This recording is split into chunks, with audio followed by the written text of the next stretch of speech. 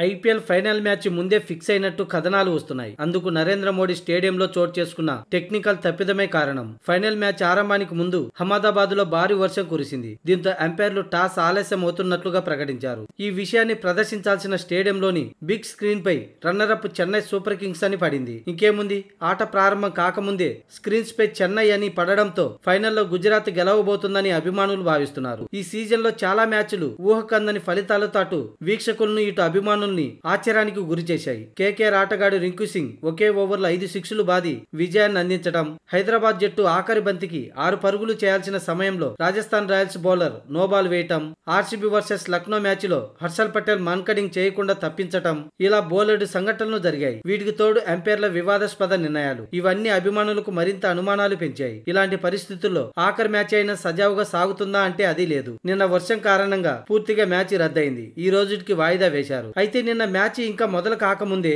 Runner up చెన్నైగా ప్రకటించడం అంటే ఫైనల్లో గుజరాత్ టైటాన్స్ గెలవబోతుందనే ముందుగానే రాసి పెట్టారా అనేది ఇప్పుడు అభిమానులకి అనుమానాలు రేకెత్తిస్తున్నాయి. స్క్రీన్ డిస్ప్లేలో ఇది ఖచ్చితంగా కనిపిస్తుంది. అయితే ఇది టెక్నికల్ తప్పిదమే అయినా చెన్నై జట్టే రన్నర్ అప్ అవుతుందని ఎలా ఊహించారు అన్నది మరో ప్రశ్న. ఒకవేళ మ్యాచ్ ప్రారంభమై గుజరాత్ టైటన్స్ బాగా ఆడి గెలిచినా టోర్ని స్క్రిప్ట్ అన్న వాదనలు మరింత పెరుగుతాయి. అయితే ఇది స్క్రీన్ టెస్ట్లో భాగంగా డిస్ప్లే చేశారన్న వార్తలు వినబడుతున్నాయి. ఇక ఈ తప్పిదంపై బీసీసీఐ ఎలాంటి వివరణ ఇస్తుందో వేచి చూడాలి.